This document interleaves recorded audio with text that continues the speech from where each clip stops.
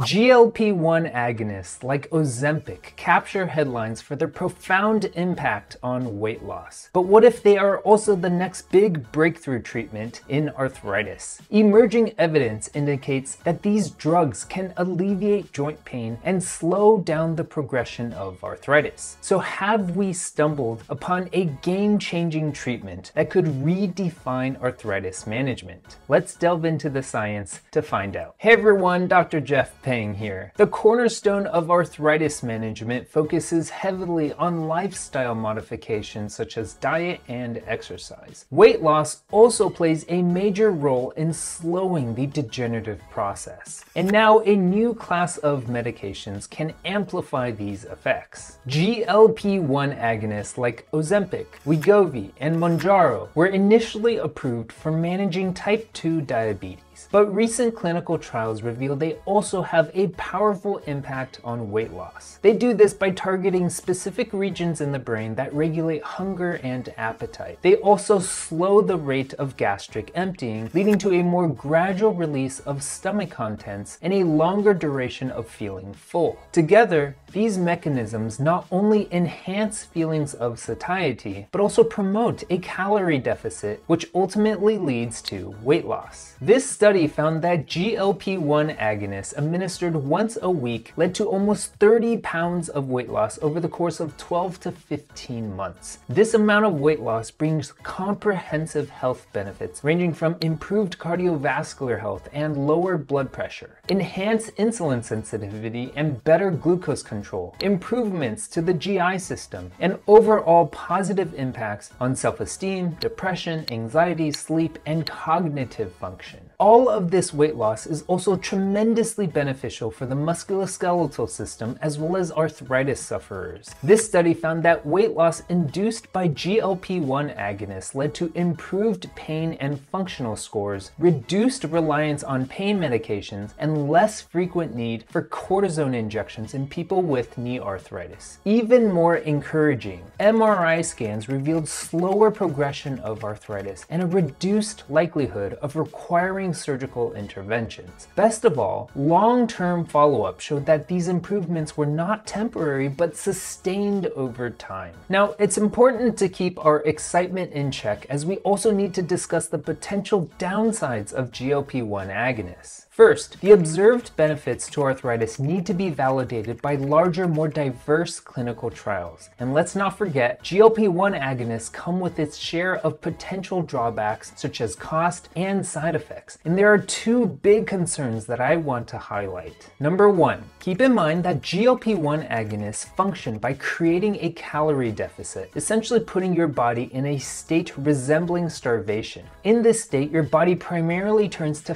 fat as an alternative energy source. However, Fat alone cannot provide all the essential nutrients, which is why the body also needs to break down muscle. And while typical weight loss from a calorie deficit leads to approximately 20 to 25% muscle loss, some studies such as this one suggest that GLP-1 agonists result in up to 50% muscle loss. So the concern here is that okay, you've lost 30 pounds of weight, but it turns out your body composition is actually worse than what it was before because you've lost more muscle mass relative to fat. This becomes even more important for people who are dealing with conditions such as arthritis, tendonitis and tendinopathies, or problems related to muscles and bones. Our muscles play a key role in keeping our joints stable and supported. Muscle loss and muscle weakness often lead to worse pain. And the reality is, as we age, one of the greatest health threats is losing muscle mass. This is a key contributor to conditions like sarcopenia and loss of functional independence in older adults. Muscle loss increases the likelihood of falls and serious injuries such as hip fractures. And to emphasize how important this issue is, research indicates that one year mortality rates following a hip fracture in older adults range from 15 to 30%.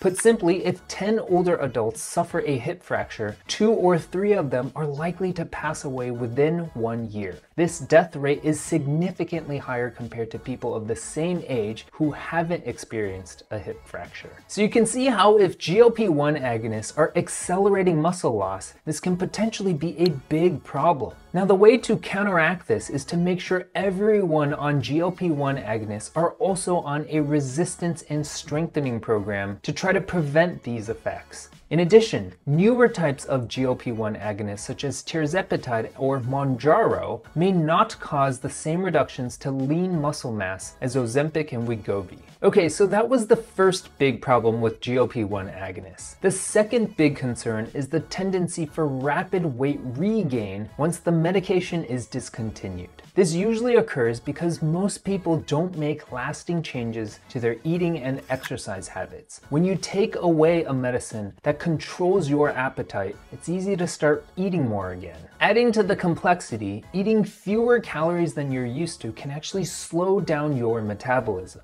For example, instead of burning, say, 2,000 calories a day, your body might go down to burning only 1,500 or 1,200 calories per day. If you then go back to your old eating habits with this slower metabolism, you're setting yourself up for rapid weight gain. And unfortunately, this is what we see in many of the clinical trials that are now being published. Studies such as this one show that GLP-1 agonists do indeed help tremendously with weight loss. But one year after withdrawal of the medication, participants regained over two thirds of their prior weight loss with similar changes to cardiometabolic variables. The key takeaway is that while GLP-1 agonists can effectively enhance weight loss and improve health outcomes, they shouldn't be considered a standalone solution or a quick fix. In addition, we still don't know if there are any potential long-term side effects, and there's also the possibility of becoming reliant on the medication to maintain weight loss.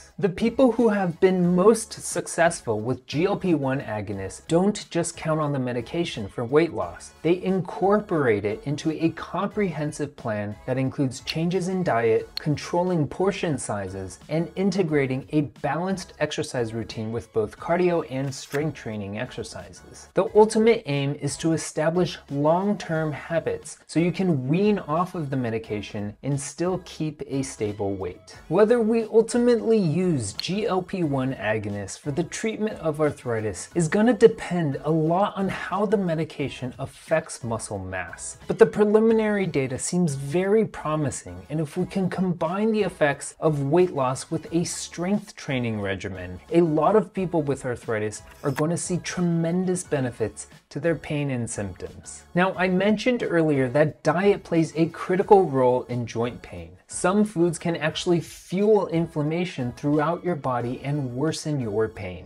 Check out this next video where I'll break down which foods to avoid and offer better choices to help relieve your arthritis pain.